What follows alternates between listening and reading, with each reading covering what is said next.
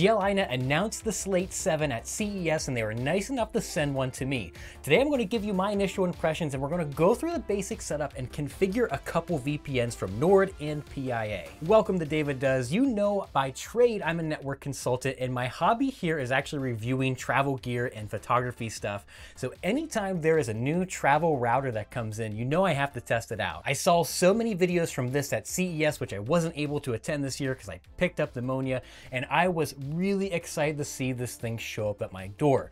Full disclosure, they did send this to me for free, but they don't have any control over what I say and they have not paid me anything. It's super important that I stay transparent with you about that so you can make a good purchase decision. If you want to help out my channel, use the links down below if you decide to make a purchase. Costs you nothing, but it gives me a few pennies. This is the latest Slate router. If you haven't seen it, I did another video on the Slate AX and I really like that router. This is pretty much the same form factor, but it has a couple updates.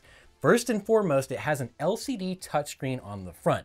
That is probably my favorite thing about this. From that touchscreen, you can see all of the information you want about your network and you can even turn your VPNs on and off and switch between different VPNs.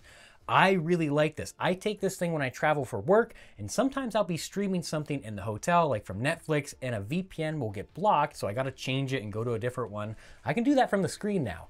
I really like that. The other big benefit is you can see the Wi-Fi QR code on the front, so if you want to add a device to it, you just scan it and boom, you're connected up. Along with this really good update regarding the LCD screen on the front, it also has some good internal updates. Basically the RAM, the CPU, all that fun stuff has been updated to give you more throughput, not only on the VPN, but of course we got Wi-Fi 7 now. We know a lot of new iPhones and Androids are shipping with Wi-Fi 7, so you can get much better speeds now out of Wi-Fi.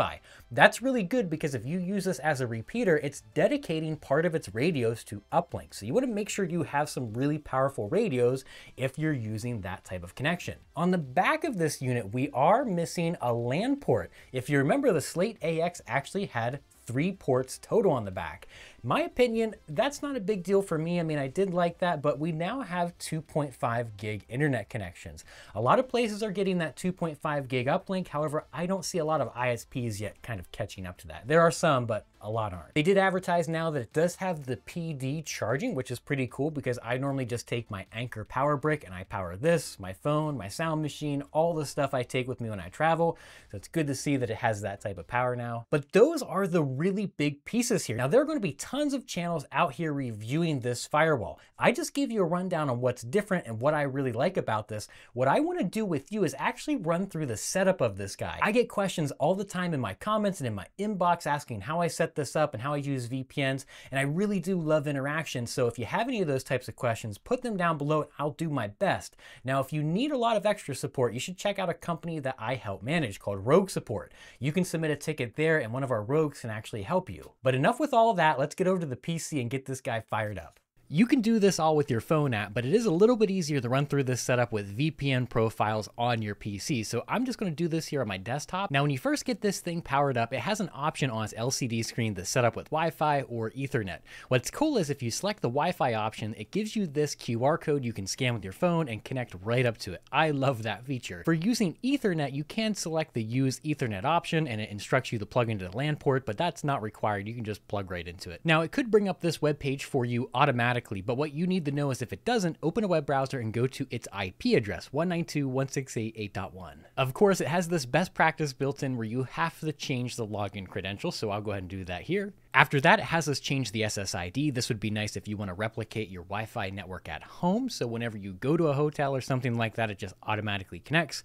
No matter what you do here, whether you leave this automatic how it is, or you change it, that QR code will update on the front of it, so it's super easy to add new phones to this. I'm going to change mine here.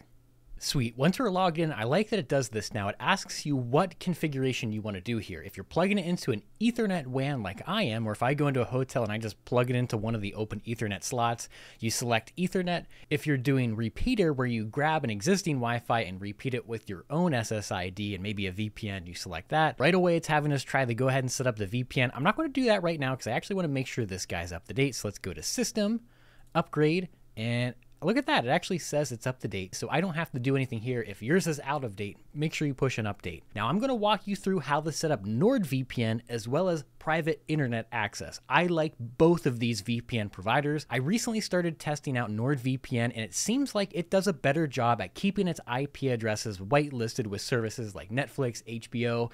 It's not perfect, but it is a little bit better than private internet access. You can even request a private IP address that's dedicated to you so you're way less likely to get blocked by those services. If you're looking to try out NordVPN, use my affiliate link down below and you'll save a few bucks. I'm not sponsored by them whatsoever. This is not an ad for them, but I figured, hey, if my viewers are trying to save a few bucks, I could get a couple pennies on the dollar sent to me. Try it out. We both benefit. But on to configuring it, and there's one piece here that is catching everybody up, including me, and this is in the NordVPN documentation, it's just overlooked by a lot of people. What we want to do here is actually use the wizard they already have. This is actually a really big benefit to the NordVPN. It's so much easier to set up than PIA, but let's go through that process. Click NordVPN, and this right here is where people get caught up. You think, oh, I can just sign in with my NordVPN credentials. That's wrong. NordVPN requires you to use MFA to sign into your administrator account. You need to go through and do this. So over here, once you sign up for NordVPN, you will have a NordVPN dashboard. Click on NordVPN, and if we scroll down here to manual setup, we click Setup NordVPN manually. What we need to do is generate service credentials. I just have to verify my email here and then it will reveal them to me. Then I can paste these new credentials into my GL.iNet and will log in. We'll click save and continue and it's going to go ahead and try the login and you need to select here your VPN location. So where's this building a VPN out to? You could choose any of these locations. For me, I'm just going to click some US locations because they have the lowest latency and generally the fastest speeds based on where I'm located. Now you can see here my list of VPNs on NordVPN. These are ready to go. I can just click on these here and click start and it will connect to that VPN. What's even better is the claim to fame for the Slate 7. It has this interactive LCD panel on the front which allows you to scroll over to your NordVPN, click on it, and you can even dive in deeper and select which particular profile you want to use. This means you don't have to pull the phone app up or you don't have to pull up this here to actually change which VPN you're connected to. I really like this. We're going to do the same here with private internet access. If you're just joining and you jump to this location in the video, make sure you get signed into your GL.iNet with your PC at the IP address I have above and go to VPN, Open VPN Client. Now let's get that PIA VPN set up. So let's go ahead and click New Group.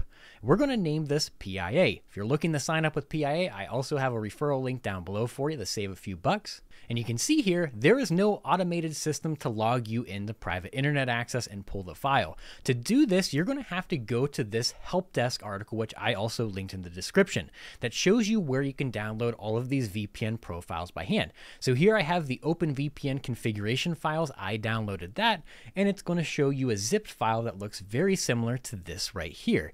So we'll go back over to the GL.iNet and we'll open up that zip file and all we need to do is actually drag some of these into here. So let's just do Washington, D.C., for example. The file was uploaded, but now we have to log in with our PIA credentials. Now, these are just your standard private internet access credentials. They're not like NordVPN where you have to go and generate your own. You just punch them right in. Let's go ahead and do that.